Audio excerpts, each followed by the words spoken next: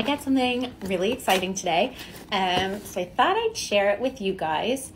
Um, I don't know about you, but recently, like within the last couple of years, I really kind of started to focus on my body and getting to know it and understand it and just really feeling like I'm in touch with it and what I need. Um, so this is kind of really cool and plays into that. Um, Inspire Diagnostics has a subsidiary uh, called Inspire Wellness at Home, and it's a bunch of at home tests where you can kind of pick what's right for you and get it to know your body. So I have four of them that I'm going to do and take you along with me. I've got the food sensitivity, the blood sugar, the sleep and stress, and the inflammation. So I'm really excited to do this and uh, get to know my body a little bit better.